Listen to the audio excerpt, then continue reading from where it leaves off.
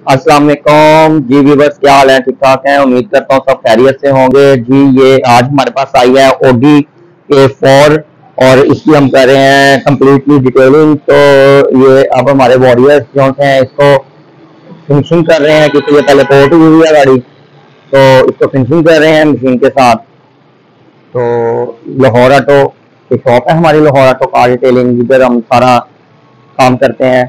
और उसके बाद ये देखे ये हमारे वॉरियर जो से हैं, वो मशीन के साथ उसको सीट्स वॉश कर रहे हैं। ये देखो, इसके अंदर जितनी मर्ज़ी मैल वगैरह और सारी इस मशीन में निकाल देनी है। ये बिल्कुल न्यू ब्रांड हो जाएँगी सीटें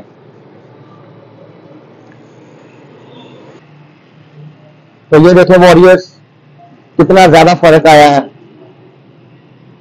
ये थोड़ा सा पीस हमने छोड़ा इसका अभी, गंदा वाला।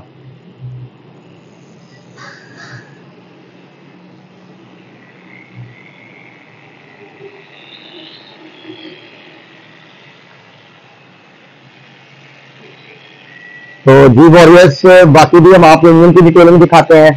उसके बाद सारी उसकी हम आपको दिखाएँगे। तो ये देखें वॉरियर्स ये हमारे पास स्टीमर है। ये स्टीम के साथ इसकी सारी मैल उतारेगा। जितना भी आयरन आया हुआ है इसके अंदर बोनट के अंदर, ये सारा आयरन इसके स्टीम में उतार देना इसका। और ये सारी जो है रिफ्रेश हो जाएगा सारा इंजन की सारी स्टीमिंग इसने रिमूव कर देनी है।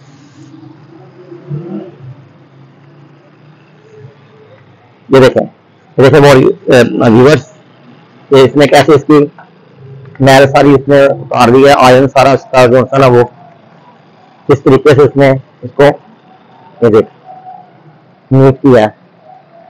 ये हमारे पास स्टीमर है पॉइचर का। तो बहुत अच्छा काम करता है।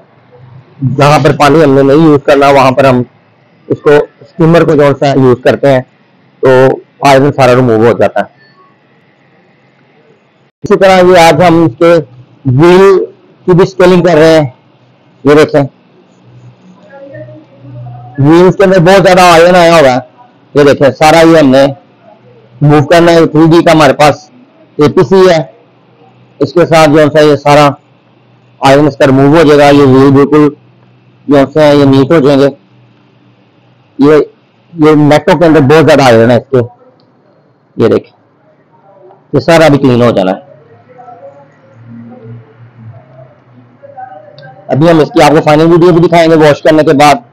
अभी इसको हमने केमिकल लगाया। है तो जी व्यूवर्स अगर आपको हमारी वीडियो पसंद आई हो तो शेयर करें लाइक करें चैनल को सब्सक्राइब करें और बेल आइकन के बटन को भी क्लिक करें ताकि हमारी हर नई आने वाली वीडियो सबसे पहले आपके पास पहुँचे।